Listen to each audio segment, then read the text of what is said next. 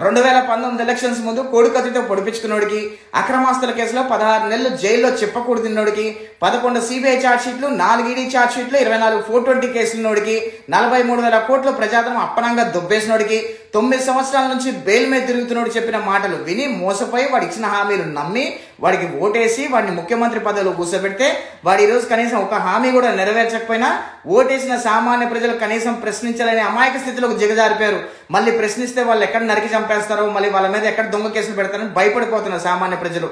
ఏం చెప్పాడు ఎలక్షన్స్ ముందు? పోలవరం ప్రాజెక్టు సంవత్సరంలో పూర్తి చేస్తున్నాడు. చేశాడా? సిపిఎస్ రద్దు చేస్తున్నాడు. చేశాడా? వెనుకబడిన జిల్లాలకు నిధులు తీసుకొస్తాడు తీసుకొచ్చాడా? స్పెషల్ కేటగిరీ స్టేటస్ తీసుకొస్తాడు తీసుకొచ్చాడా? రైల్వే జోన్ తీసుకొస్తాడు తీసుకొచ్చాడా? కేంద్రం మెడలు ఉంచుతున్నాడు ఉంచాడా ఇలా చెప్పుకుంటూ పోతే కొన్ని కో కొలల హామీలు ఇచ్చాడు ఏవి నెరవేర్చలేదు. ప్రజలు అమాయక ప్రజలు మోసపోకండి.